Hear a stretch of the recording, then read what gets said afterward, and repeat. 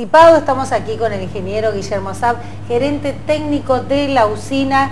Eh, ¿Cómo estás? ¿Qué tal? Buenas tardes. ¿Cómo le va? Bien, gracias. Bueno, eh, se viene el calor y todo el mundo consume más. Este, aquellos que nunca habíamos prendido aire, ahora prendemos aire. ¿Qué pasa, digo, con la actividad de nuestra ciudad? ¿Se banca tanta, tanto consumo? Bueno, en principio Está muy bien que los que tienen aire acondicionado lo usen en esta época. Es la fecha para usarlo. El que lo logró tener está muy bien que lo use. Eh, nosotros, por suerte, este año estamos eh, mejor preparados que el año pasado. Tuvimos un plan de inversiones importante. Y también nos ayuda, que es una realidad, que se está distribuyendo menos energía. Hay menos consumo en general. O este, sea que esto de cuidar se está Funcionando, está, funcionando. Hay dos cosas, me parece a mí. Una es que la gente está consumiendo en una forma más responsable.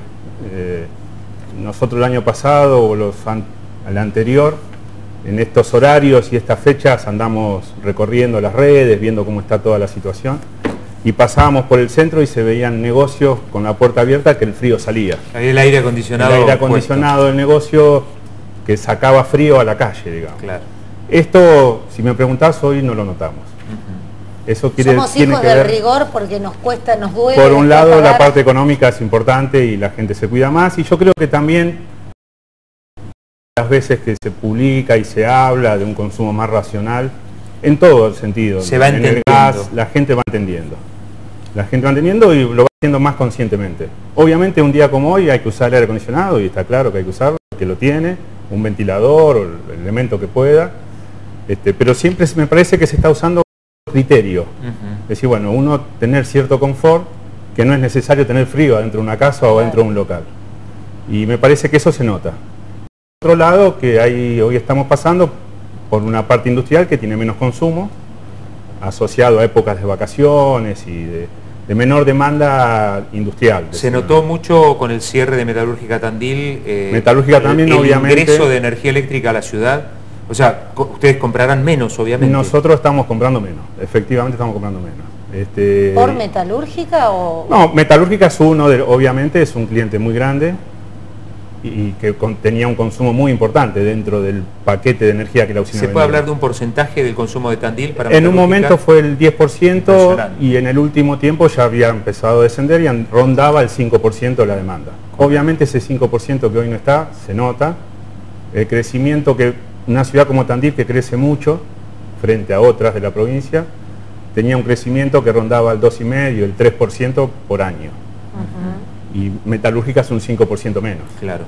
Eh, con respecto al tema del consumo, eh, ¿qué perciben ustedes en estos días? Si bien no ha habido récords eh, como años anteriores de consumo, pero del año tienen estipulado qué día fue el de más consumo? El día de ayer, a las 2 de la tarde, fue la máxima demanda que tuvimos eh, frente a febrero del año pasado, que fue el 8, el 9 de febrero. Ajá. no alcanzamos ese valor, pero es el día de más consumo. Ayer fue hasta el momento del año, fue el, día, de, mayor, consumo. A las 2 de la tarde. Correcto. Y porque estaban mirando todos. Todos acá, todo el tele prendido. Culpa suya, como siempre. sí, este, en el verano, este, Tandil históricamente tenía una demanda máxima, un consumo máximo, en el horario entre las 8 y las 9 de la noche hasta hace unos años atrás. El uso de los aire acondicionados y el equipamiento de confort hizo que en el verano el horario de máximo consumo pasó a la tarde y no el de la ah. noche. Correcto. Ahora, Guillermo, en este año, eh, no sé si ustedes lo tienen identificado, pero a mí me pasó que vi como más cantidad de cortes eh, de energía eléctrica. ¿Esto debido a que, a que no, esto que vos decís, el crecimiento de la ciudad y no se da abasto? Es una mezcla de cosas. Una es este, el crecimiento de la demanda y que las inversiones llevan tiempo ejecutarlas. Eh, y otra es que por otro lado el volumen de inversiones es más grande y muchas veces nosotros tenemos que hacer cortes para mejorar la red. Entonces la suma de las dos cosas, nosotros hicimos Hoy a la mañana hicimos un corte programado para hacer una mejora en una zona de la ciudad. Claro, bueno, pero eso es programado. sí, pero la gente va sumando, la gente va sumando y dice, este, este año me cortaste tres veces la luz. pero capaz que uno fue un corte programado y dos fue por una emergencia. Guillermo Saab está con nosotros, gerente técnico de la usina. Guillermo, en días de calor, de mucho consumo como estos, como ayer especialmente, que fue el récord del año, eh, ¿qué tienen que observar ustedes? ¿A qué están atentos?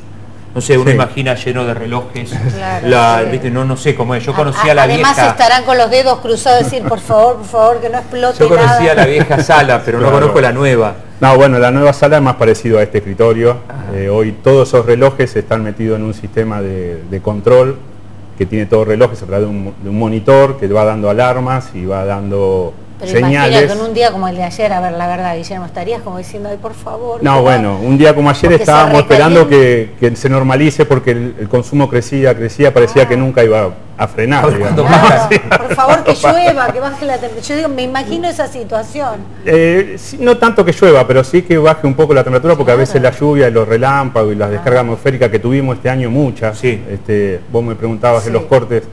Este año, por alguna cuestión atmosférica de la naturaleza, hay muchas descargas atmosféricas y eso sí genera mayor corte. Nosotros tenemos registrado muchos más cortes generados por rayos que otros años.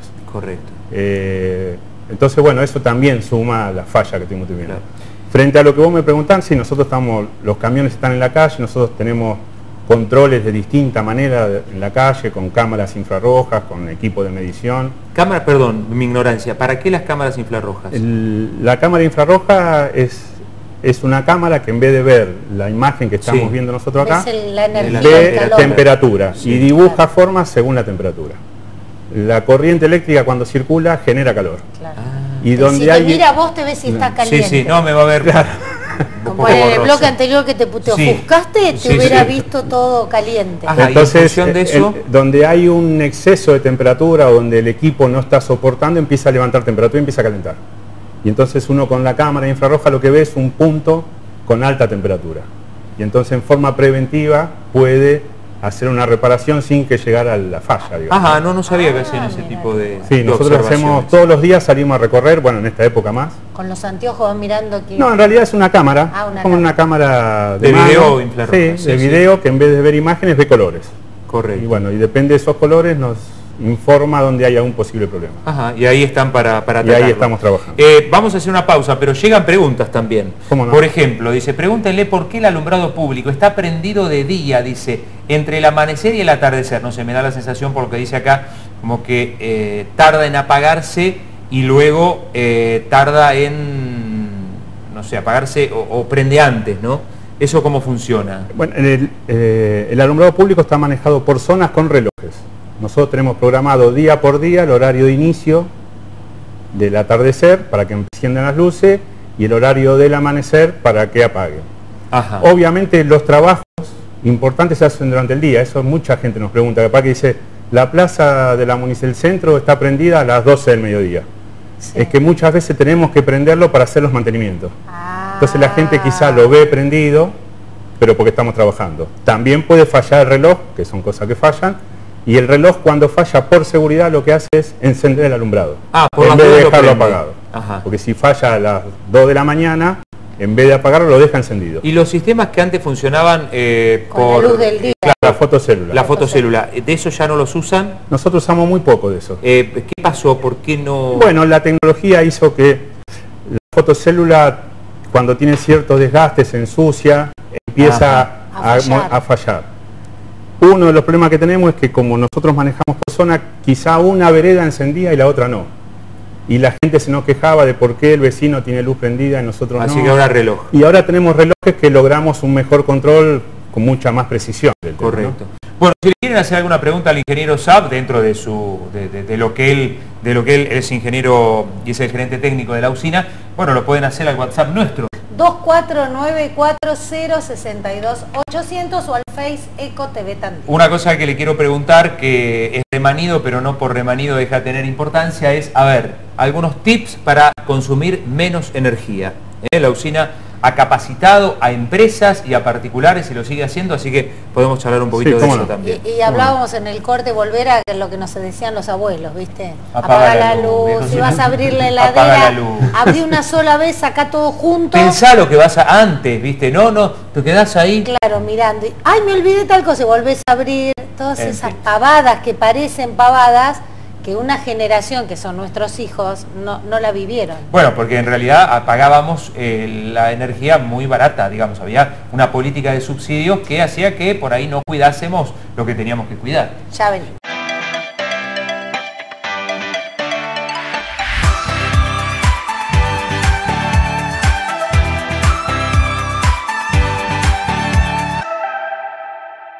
Seguimos charlando nosotros aquí con el ingeniero Guillermo Saab, gerente técnico de la usina. Opciones, van a llegar algunas otras preguntas, pero contanos opciones para eh, reducir el consumo eléctrico, porque obviamente consumimos más, gastamos más, la energía hoy es mucho más cara. Se han sacado los subsidios, no en su totalidad, pero se han sacado muchos subsidios y hoy cuesta. Sí, la, tarifa hoy tiene otro valor este, porcentual y eso se nota cuando llegan las facturas y sobre todo con un problema adicional que es que el consumo que hoy estamos teniendo nos va a llegar una factura en marzo. ¿Con más aumentos? No, pero que hoy lo que todo lo que estamos consumiendo, que quizá no nos damos cuenta porque la factura que llegó este mes es una factura común, sin ningún alto consumo, cuando lleguen los altos consumos tanto en invierno como en verano, ya la energía está consumida. Claro. Entonces, sí, hay que prestar atención más allá que la factura que está llegando no sea la más cara, digamos. Claro. Independientemente de los aumentos, obviamente. Sí, sí.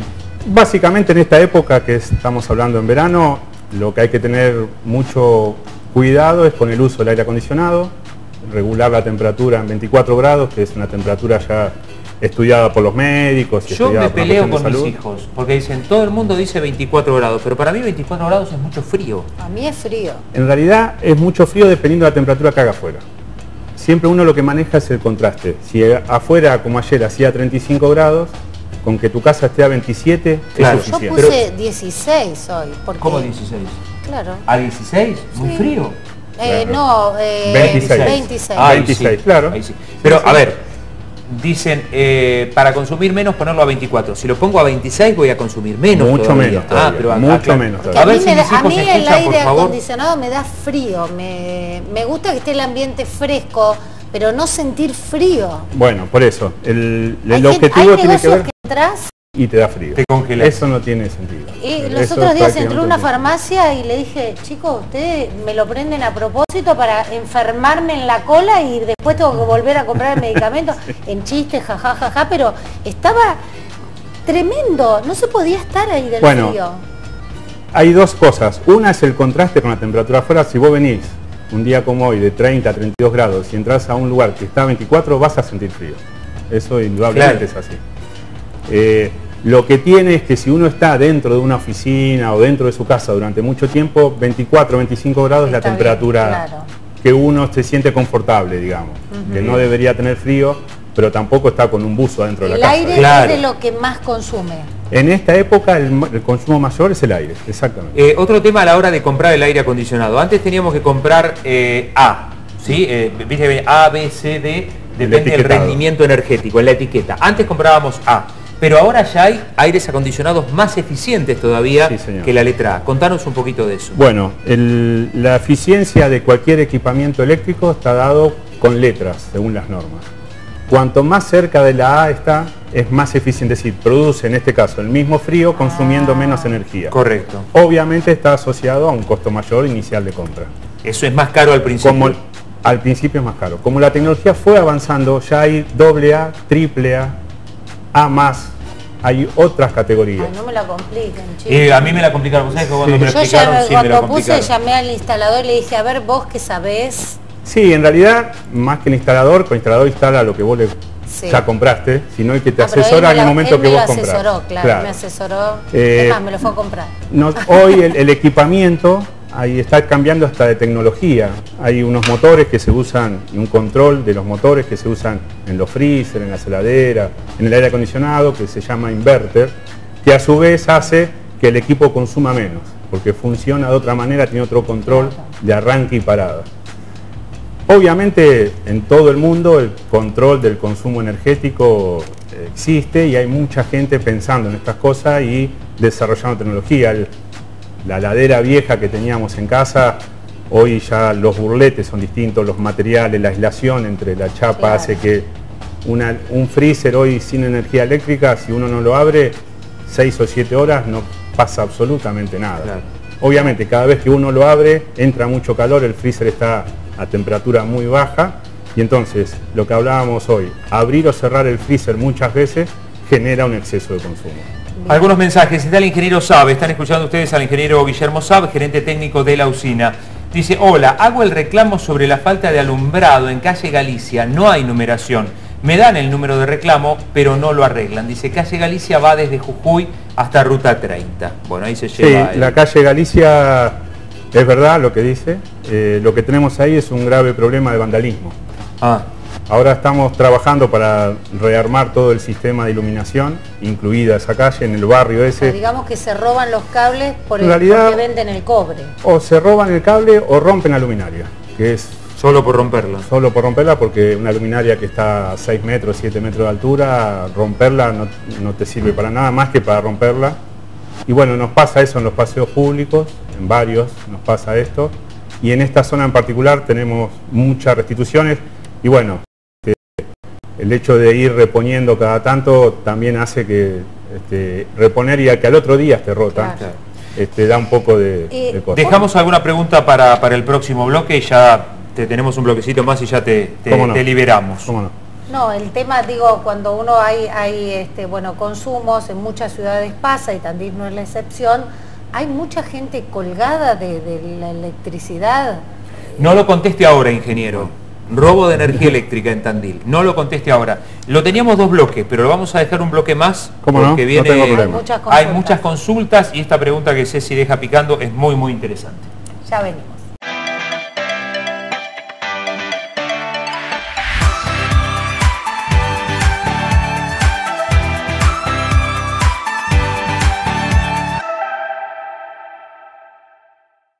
Seguimos charlando con el eh, eh, ingeniero, Guillermo, Sab y le habíamos dejado, gerente de la usina, em, habíamos dejado este, esta pregunta si hay mucho robo de energía, bueno, tuvimos estos casos donde hubo fraguado los medidores, ¿eso hizo que ustedes controlaran más todavía? Sí, bueno, este, nosotros en forma permanente hacemos controles. El, primer motivo que hacemos los controles es por una cuestión de seguridad. Normalmente el que hace una conexión fraudulenta, sobre todo en las domiciliarias, las que son industriales, comerciales, tienen otro poder adquisitivo y tecnología y conocimiento como para hacer algo distinto. Pero la gente de menos recursos que, este, que tiene que hacerlo como puede, nosotros lo que encontramos, por ejemplo, son muchos cables que cruzan por la calle, en lugares donde hay muchas familias con muchos chicos, por ejemplo la movediza, las Tunitas, el, Villaguirre, donde más que el robo nos preocupa la cuestión de riesgo eléctrico. Este, los cables por el piso, cable de teléfono, cable que no son aptos para la energía eléctrica, y en el momento que hacen la conexión, que seguramente no tienen elementos de protección, no tienen guantes, no tienen herramientas este, aisladas, entonces el primer motivo por el cual recorremos todos estos lugares, que lo hacemos mañana y tarde todos los días, hay una eh, cuadrilla especial. Hay varias cuadrillas ah. dedicadas a esto. Eh, nosotros lo que hacemos es recorrer esto, obviamente la cuestión social no está en el mejor momento y estas cosas son más tentadoras o más necesarias, digamos. Hoy vivir sin energía eléctrica no es una cosa simple y entonces la gente busca alternativas. Muchas veces la alternativa es que un vecino le dé energía y bueno, más o menos con una larga, una zapatilla, con cierto grado de seguridad. Nosotros, cada conexión que damos, si no tiene un elemento que se llama disyuntor, que es el que protege la vida de la persona más allá de la instalación, no habilitamos ninguna conexión que no tenga eso. Obviamente el que se conecta en forma clandestina no tiene nada de todo eso. Entonces, a su vez, corre más riesgo todavía de tener un problema. Guillermo, ¿y cómo está el tema de eh, bueno, los avisos de corte, faltas de pago, ¿se, dan de baja o tienen que dar de baja muchos medidores por esta época? No, eso, este, la estadística... No es tu área específica, pero... Pero sí, lo venimos controlando. Eh, estadísticamente venimos manteniendo la misma cantidad de avisos de corte, lo que sí estamos registrando, que es real, es una mora, es decir, mucha gente paga ya con el, aviso de corte o con la último vencimiento, cosa que antes pasaba menos, claro. Hay un, una postergación del pago pensando que utilizando la plata para otra cosa. ¿no? recuerdo en este momento qué impuesto es el que se le agrega al de la luz, pero sí que mucha gente se queja que dice, bueno, a lo mejor yo ese impuesto podría pagarlo con una moratoria, en cambio al meterlo en la boleta con la luz, que incrementa mucho, eh, te obligan a pagarlo porque si no te cortan la luz. Sí, bueno, eh, hay una decisión sé que política. Por ahí no es tu área específica. No, pero... a grandes rasgos, sin entrar en mucho detalle, hay una decisión política, tanto del Estado Nacional como provincial, de ir sacando todos esos impuestos que distorsionan un poco. Pero no se han sacado. Hay un proceso de sacar, sí, sí, se van sacando, se van sacando. Falta todavía terminar y decidir algunas cosas más, pero el, proceso se va sacando. Si vos te fijas en la factura nuestra, ya empezamos a nosotros, por ejemplo, este, la gente que está asociada al servicio de emergencia de la usina, a UCICON Emergencias, antiguamente venía dentro de la factura. Hoy viene un taloncito abajo que puede, tiene que pagar dos veces, uno el consumo de energía eléctrica y uno el consumo en busca de, la factura limpia, digamos que... Para que la gente sepa cuánto paga energía eléctrica. Porque si no, la gente decía, yo pago mucho, pero uno mirando la factura veía que tenía otras cosas. Sí, sí. Cosas nacionales, provinciales y municipales también. Recordémoslo, la 2505, bueno, eso estaría relacionado, pero pero no es exactamente el, pago de la energía eléctrica. Hay varios mensajes, dice, por favor arreglen en lleno al 200, dice, se apaga y se prende la luz de la calle, suponemos que hace referencia. Debe ser eso. ¿Estás al tanto? No, pero bueno, este, no, no, tengo en la cabeza todos los reclamos, pero sí. Lleno al 200. Lo tomo, lo tomo. Bien. Eh, pregúntenle por qué el alumbrado público está prendido de día entre el amanecer y el atardecer. Bueno, esto es lo que, leíamos hoy. ¿eh? Esto es lo que leíamos hoy. A ver, ¿qué nos dice por acá Juan? Dice que venzan las facturas el 10. Ah, el tema no es el área de, él, pero lo podemos mencionar, que venzan las facturas el 10 como los de la municipalidad, dice, porque los estatales eh, después siempre, tenemos que pagar con recargo. Lo que pasa es que creo que hay cuatro ciclos ¿no? de vencimiento. Hay, cinco recorridos, la usina, este, hay que recordar que toma el Estado a más de 60.000 medidores todos los meses. Entonces hay un proceso de toma Estado, de emitir la factura y después de publicar y repartirla. Entonces, obviamente esos 64.000 medidores que tenemos no lo podemos hacer todas a la misma vez y en el mismo momento. Entonces hay escalones que van haciendo. De todas maneras, la factura nunca vence un día determinado, sino que tiene varios vencimientos con distintas posibilidades. Eh, hay gente que nunca le llega al 10, sino que le vence el 20, por ejemplo. Correcto, correcto. Guillermo, el estado en general de las instalaciones de la usina en Tandil. Eh, hoy hablábamos, ¿no? Que hubo momentos más complicados, se hicieron inversiones, ahora se ha detenido un poco. Eh, ¿Cómo está en general? Vos como ingeniero decís, bueno, a ver, estamos en un 10, estamos en un 7, estamos en un 9. Eh, más allá del número, digo, sí, sí. ¿qué, qué pensás de esto? Obviamente una ciudad como esta que crece continuamente y que el consumo domiciliario requiere más, hoy tener un corte, la gente es mucho más electrodependiente. Eh, en cualquier casa el corte de suministro eléctrico, más allá de estos días de calor que son críticos, digamos, ¿no? pero un día común, la energía eléctrica es un, bien hoy esencial. Hoy no hacemos nada, si no tenemos energía. Entonces requiere una calidad de servicio mucho mayor a la que teníamos antes, la exigencia del vecino. eso, bueno, está, yo creo que está bien y nos ayuda a, tener que mejorar y pensar estrategias y buscar alternativas. La red nuestra obviamente requiere seguir invirtiendo porque es una ciudad que sigue creciendo. Independientemente de la cuestión social, nosotros el año pasado pusimos casi mil medidores nuevos. Esos mil medidores nuevos, algunos son en lugares donde hay red, otros lugares donde no hay red, o donde hay red y hay que mejorarla, porque donde hay una casa en se edificio... Cambian, se van cambiando los cables, se van cambiando habitualmente. La red eléctrica tiene distintas etapas, la que decís vos que es el cable que ves por la calle, ese cable nosotros este año estamos cambiando 60 kilómetros de cable, para que tengas una idea de la magnitud. Eso significa un montón de camiones, gente que en algún momento entorpecemos, cortamos una calle. 60 kilómetros en esta ciudad no es mucho. Yo te puedo asegurar que económicamente sí, económicamente es mucha la plata. 60, 60 kilómetros, 60 mil metros de cable, nosotros no lo veníamos haciendo, hace años que no hacíamos esta inversión de 60 kilómetros de cable. A lo mejor se dejó mucho. Hubo mucho tiempo que hicimos muy poca inversión, muy poca. y ahora tenemos que reflotar todo esto que lleva tiempo. Son cosas que eh, vos me decís que son poco que frente Digo, la usina para, el- tiene para la dimensión que tiene la sí, ciudad la me usina tiene parece. 1400 kilómetros de cable para Claro. que tenga de redes. Vamos a cambiar 60. Es decir que nos falta mucho Sí. todavía. Hay que recordar también cuando hablamos de falta de inversión, que no le podemos echar toda la culpa a la usina, y acá no, no es por defenderlo, pero hubo decisiones del gobierno nacional en su momento que, eh, a ver, quitaban determinados cargos de la factura con la intención de decir, bueno, nosotros gobierno nacional le vamos a dar a las distribuidoras para hacer las obras. Dinero que nunca llegó. O que llegó en forma dispar, quizás. Correcto. En forma dispar, criterios distintos. este, a, a lo largo de los cambios de gobierno, las políticas energéticas van cambiando, el país no tiene algo definido y cada gobierno que asume toma decisiones que no siempre son continuidad del anterior.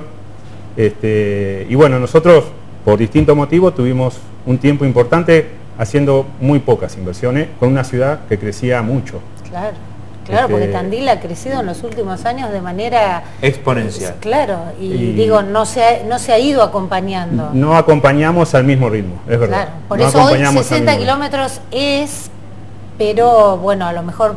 Es, una parte de todas las inversiones Claro. que estamos haciendo, estamos cambiando transformadores, estamos invirtiendo mucha plata, estamos haciendo una... La usina toma energía del sistema en, en un lugar que se llama una subestación grande que está sobre la ruta y esa subestación es la que el año pasado en esta época quedó chica y tuvimos que hacer cortes. Claro, es ponerse al día de muchos años de, de no hacer. Y esta claro, inversión, para que vos te des una idea, nosotros ya llevamos casi ocho años trabajando en esto. Claro. Son inversiones a muy largo plazo, de mucho volumen de plata, y bueno, las empresas de este nivel como la usina necesitan este, mucho control en qué invierten, en qué no. Este, a, a nadie le sobra la plata, entonces hay que fijar prioridades. Y bueno, la usina, yo creo que la red de la usina, lo estamos viendo con, con la demanda que hubo ayer, este, la verdad que tuvimos muy pocos cortes, algunos puntuales, este, un sí, poco... ayer fue- digamos que fue y como ayer una fue el día de mayor exigencia. Claro. Y bueno, la red funcionó bien. Eh, brevemente, el último tema. Hablabas de la planta transformadora, eh, se está trabajando en una segunda planta transformadora. ¿Cómo va esto? No sé si hay fechas, si hay tiempos. El otro día, bueno, ya hace unos cuantos días hubo una, una recorrida por, por ahí. Bueno, eh, esas son eh, obras de mucha envergadura de lo económico para empresas como la usina. La usina lo que ya tiene hecho es la obra civil y comprado todo el equipamiento importante que va montado ahí y ahora estamos en un proceso de licitación de la instalación de todo eso. Estas son cosas muy específicas que no se hace con mano de obra eh, que no sea calificada para Claro. este tipo de cosas y entonces estamos en el proceso de licitación y de obtención de fondos. Está trabajando el gobierno municipal, la usina, el gobierno provincial, en forma de cómo podemos obtener los recursos para hacer estas inversiones que están fuera del alcance de una empresa como la nuestra. Claro, digamos. pero que sin duda va a favorecer a todo este Es indispensable, recambio. indispensable. Claro. Indispensable, pues ya te digo, eh, el año pasado, como hubo un poco más de demanda, tuvimos que hacer algunos cortes porque el cuello de botella que hoy tiene la usina es ese lugar, Habrá un embudo. es un embudo. Y este año, este, ayer tuvimos justito, nos sobró poco, digamos, no nos sobró. Ahí fue donde vos transpirabas Ahí tipo dos donde- de la tarde. y vos, perdóname, dos de la tarde, ayer estabas ahí frente a la- al monitor mirando o te iban diciendo. No, yo estaba ahí. Vos estabas ahí mirando. sí, sí. Dos Y- o tres que estábamos, estábamos ahí mirando. sí. Y después de las dos que empezó a bajar de a poquito. Y ahí nos fuimos a comer algo. No, no, es curioso, ¿no? Porque uno no sabe cómo funciona, No, pero bueno, hay yo- gente claro. mirando lo que pasa con el con nuestro consumo eléctrico. Claro, Sí. y que nadie, y, y no somos solidarios. A ver, uno, la mayoría de la gente tiene calor y lo prende al mar, no piensa que si todos tratamos de gastar lo menos posible en horas pico, eh, vamos a hacer, eh, vamos a estar trabajando en beneficio de todos. La verdad que en eso somos pocos solidarios. Sí, somos pocos. Sí. A ver, el que Sí, tiene sí, calor sí. se pone el aire al mango y yo pago y qué me importa. Esa es la respuesta normal. Eso es general, pero, es general. eh, sí, sí. Es el reclamo que nosotros tenemos cuando se y corta la después luz. se corta y decís, "Ah, con lo que pago, se corta esto. Bueno, otra cosa que no comentamos, el 50% de los reclamos que tuvimos entre el lunes y el martes fueron por fallas internas en la casa. Ajá. Uno pone el equipo de aire acondicionado Claro, y estos días si tiene dos, prendió los dos a la vez. Y no te Y daba. quizás la instalación interna no dio. Claro, Porque el que lo instala, coloca prueba, ve que funciona y se va. Claro. Pero no siempre hace un análisis de, bueno, ¿qué pasa si prendo los dos juntos y justo en ese momento está el lavarropa funcionando, si justo en ese momento tengo el microondas calentando algo de comida para no prender el gas. Todo eso sumado hace que la instalación interna no funcione. Y la mitad de los reclamos que tuvimos fueron por fallas internas. Claro, a veces cuando la, eh, este consulto, cuando la instalación no da más y salta nuestra térmica, como se le dice, eh, puede, haber, puede saltar también una protección que tiene la usina y ahí sí tiene que intervenir indefectiblemente. Exactamente. Cuando le pedimos a la red cada domicilio tiene que tener una protección general que es la térmica que está en el tablero principal. Nosotros a su vez en cada bajada tenemos una protección adicional por si falla esa y tratar de no afectar a los vecinos, digamos, que el problema quede concentrado en esa casa. Cuando lo que falla es nuestra protección, tenemos que ir nosotros. Bueno, acá dicen, muy claro y docente el ingeniero SAP. Bueno, muchas gracias. Eh, no, muy, muy claro. porque uno va, viste que eh, cuando pasa algo, no sabés. La, mayoría de las veces no sabés. Esto de que yo he visto en las plazas por ahí prendidas, oh, che, está la luz prendida. Claro, es que, están, trabajando. Estamos trabajando.